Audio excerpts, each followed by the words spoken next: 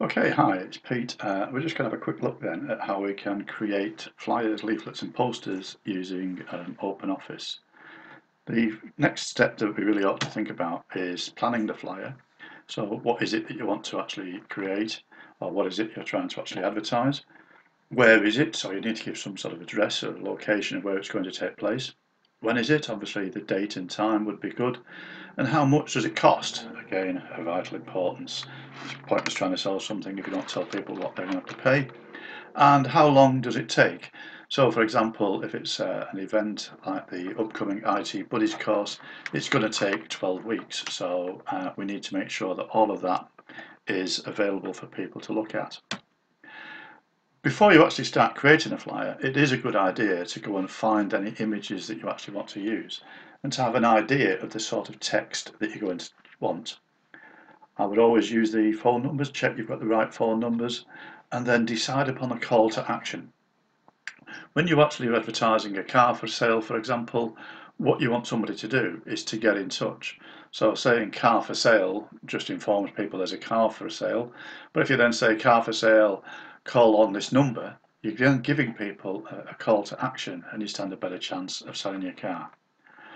Okay, so let's move on then and let's look at how we can create a flyer, a leaflet or poster using OpenOffice. Okay, so I've started to launch uh, OpenOffice uh, and I'm using OpenOffice Impress, which is the presentation package. I've opened presentation wizard, which is the default way that you'd actually come into the package, and as you can see, I'm going to start by using an empty presentation. I can then click on Next. And then here I can say what sort of a slide design I want. Well, I'm not going to use a slide design. We're going to do this all ourselves. And then select an output medium. So do I want it for the screen, an overhead, a slide, or for paper? Well, this is going to be a flyer, so we're going to use it on paper. So I select paper. And then I can click on Next again. There isn't going to be any slide transitions because we're not going to be using it as a slide, we're going to be printing out a piece of paper, so that's fine. So therefore all we need to do then is to click on create. When I click on create, it then opens up the, um, the uh, OpenOffice uh, package and it's all ready for me to use. Now as you can see, what I've actually got here is something that looks like a, um, a sheet of paper and it's laid out in this particular manner. Now if I want to change that, then what I can do is I can go up to where it says format and then it says page. So I can format the page into being the style that I want. So I want it in A4, that's fine, but I'm going to use mine in portrait. Now portrait would actually set it up vertically uh, as we would normally see a piece of A4. I then select OK and there I've now got my piece of A4 ready for me to use.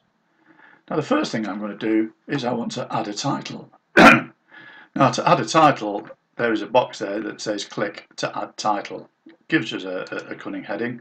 So I can just put my cursor into there and then I can type in whatever heading I actually want. So I'm going to say, um, oh I know, become an IT buddy. So there is my, uh, my heading, it's all uh, in there. Now here I can then start to play about with that. So by holding my mouse key down and highlighting that, I can actually decide whether I would actually like to change the font.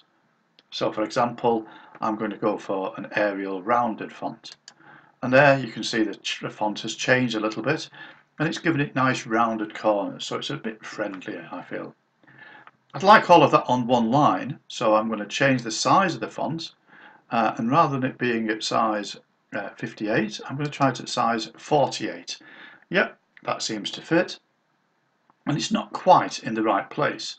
So I'm going to point to the corner of that blue bounding box.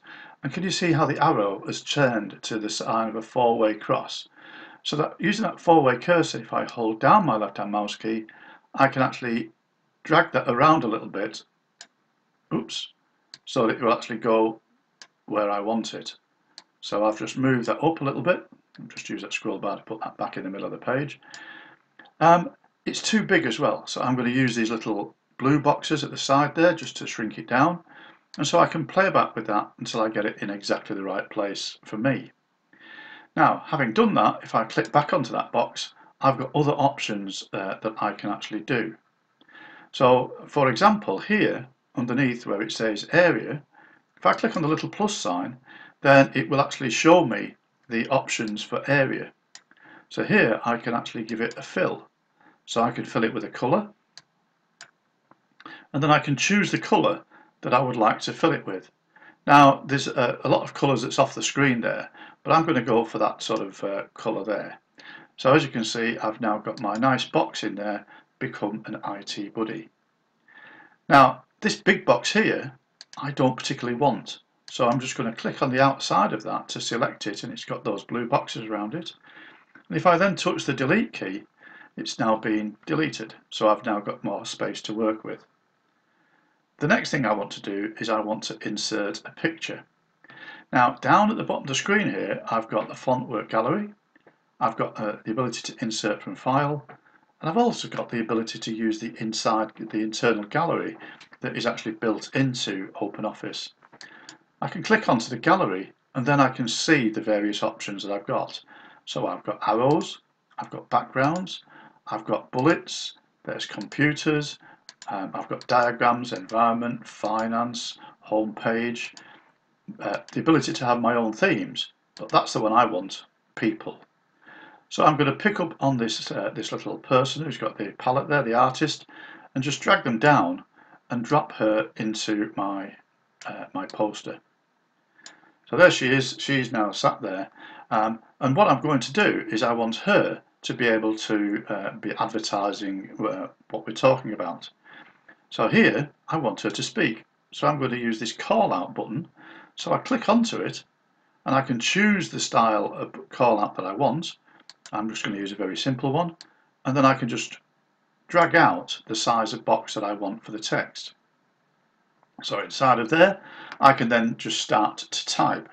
So I'm going to get her to say, um, do you want to uh, learn about um, and I'm using shift and enter so that I can actually keep it as one line uh, use about computers and then help other people in the community. And a nice question mark. Um, and I can now uh, play about with that.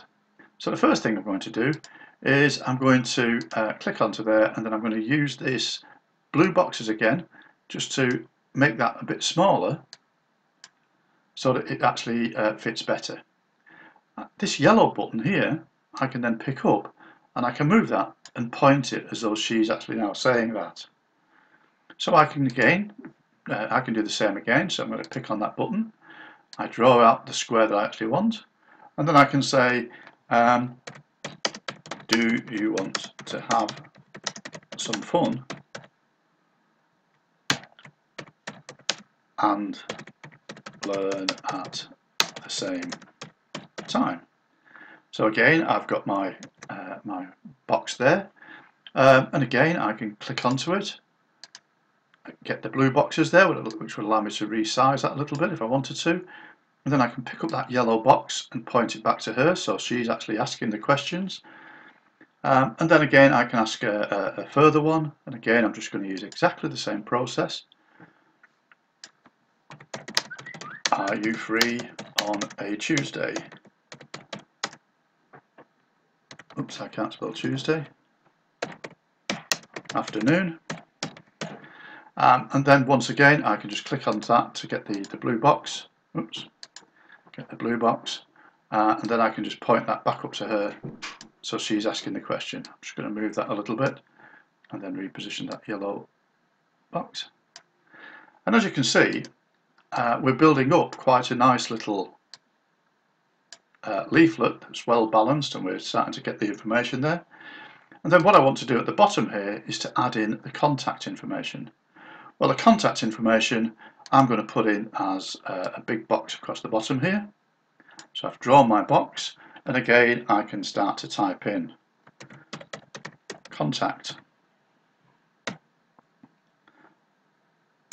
So contact uh, Pete, and then I've got email, ask Pete a question at gmail.com. Google Plus is plus PJ Read. And then um, we'll also go for Twitter. Why not? Twitter and my Twitter name at IICT Pete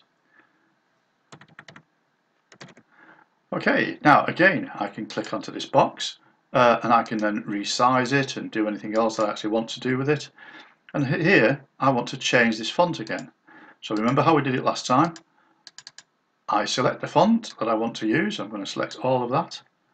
Up here then I can change the size of the font. Uh, 24, let's try just 26. Yeah, I think that's probably big enough. Um, I can then change the, uh, the, the, the, box. So there I've got the colour. Well, I think something um, in a sort of, well, that looks truly horrible, doesn't it? Let's try something in a green colour. So there it is. Um, we've now got my, my box there and my little poster is all ready to go. Finally, what I would tend to do at this point would be to go to File and Save or Save As. So it would actually be saved on my desktop. So I'm going to save this down. Um, I'm going to stick it in my SkyDrive and just say Save. And then I can go to File and then I could actually uh, print this and then it's ready to go.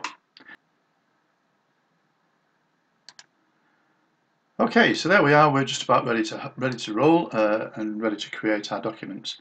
Now, one or two points that I would mention is that many printers will have a non-printing border where they can't actually get to the ink uh, into the into the corners. Now, if that's the case, then you may find that some of the text is cut off a little bit, in which case you need to just move it in just a touch, like I've just done there to make sure that you can actually sort of create the document properly and it works. Um, if you're using uh, a full colour printer, then again, I would avoid using uh, too many different colours because again, it can be a bit garish.